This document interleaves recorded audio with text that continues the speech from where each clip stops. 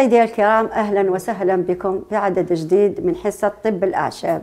اليوم راح نتكلموا على السانوج. ونوضحوا انه السانوج للمشاهدين الكرام انه السانوج وحده وحبة البركة وحدها لازم الفرق بيناتهم. كما تشوفوا لهنا راهو السانوج معروف. نحطوه في الخبز ديالنا. نحطوه في بزاف كاين أطباق ديالنا يعني نستعملوه. نستعملوه في بعض الحلويات. كذلك نستعملوه كزيوت آه، كذلك كغاسول يعني لي آه، الصابون كذلك. ونستعملوه كذلك يعني خارجيا وداخليا. السانوج نقدروا نستعملوه في العسل نقدروا نستعملوه كذلك في الحليب آه، نقدروا نستعملوه يعني في يعني أغلب الخلطات.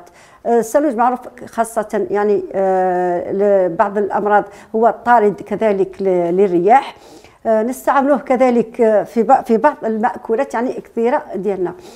السنوج هو يعني من المواد يعني لما ناكلوا يعني نعرفوا أنه لما نشربوا الزيت تاع السانوج ولا نقدروا ناكلوه يعني حبات يعني نحسوا باللي بالحريق في الحلق ديالنا لأنه يعني فيه فيه مادة لاهبة. يعني نقدروا لو كان نستعملوه دائما تقدر الاستوما ديالنا تنجرح. آه، قلنا نستعملوه بزاف يعني نقدروا نستعملوه في في يعني أغلب الخلطات يعني للأمراض نستعملوا فيها السانوج كذلك آه، خاصة قلنا أنه خاصة في أيام رانا في أيام البرد والشتاء السانوج كذلك نستعملوه نستعملوا الزيت ديالو لما نشوفوا يعني النف ديالنا مسدود أو ما تنفسوش مليح ما من آه، يعني ما نفسوش مليح.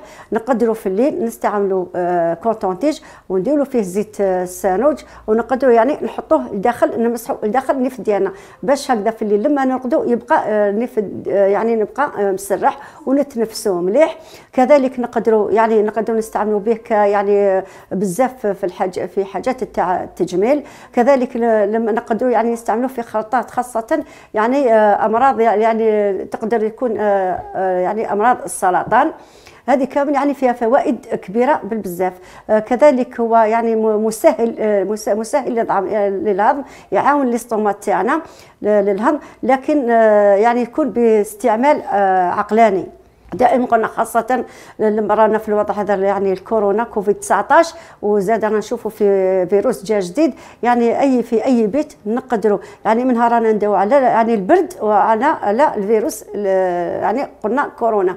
نقدروا نستعملوا نديروا مقلة سخونه مليح ونحطوا فيها كمية تاع السانوج ونخلوها تتبخر في الدار. كذلك اللي يكون يشتكي كذلك ما عنده صداع يقدر يحطه في المقلة. هو راهو يسخن ويخرج هذاك كي يشوف هذاك الدخان بدا يعني يطلع يقدر يغطي راسه ويغم يغمو ويبدا يستنشق هذيك الرائحة اللي راهي تخرج. كذلك يقدر قلنا يتنفس به يقدر يسرح له نيف ويبدا يعني بزاف اللي يرقدوا يرقدوا فمهم مفتوح ونيفهم مبوشي. هذا بزاف رايح يعاونوا لما يعني يستنشق الآخر ديالو.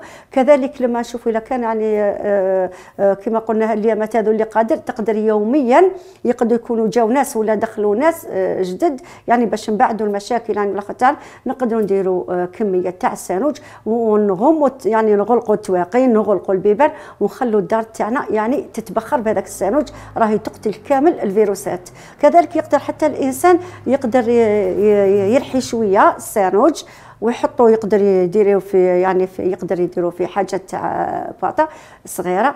راه يقدر حتى يمشي يعني في جيبه لما يشوف روحو سافا با ما يقدرش ي respirer ولا نيفو راهو مغلوق ولا كش ماشك يعني يكون مع صحاب ولا يقدر يحط شوية في compresse كموسة صغيرة ويديرها في نيفو ويبدأ يستنشق يستنشق ويقدر يدير شوية في فمه. هذا باش يبعد المشاكل ولا أي شك. يعني نعرفوا أن لما رانا في الوضع هذا الكوفيد يعني بزاف يعني يقدر يكون صاحبه بلا غريب ولا. وهذوك الحوايج كما نشوفوا راهم يتطوروا. حنا نقولوا لا غريب بصح يعني مربي واش كاين. يعني رايح يحمي روحه. أي هذه حاجات يعني صغار يقدر أي واحد يستعملها وحماية له وحماية الناس الآخرين.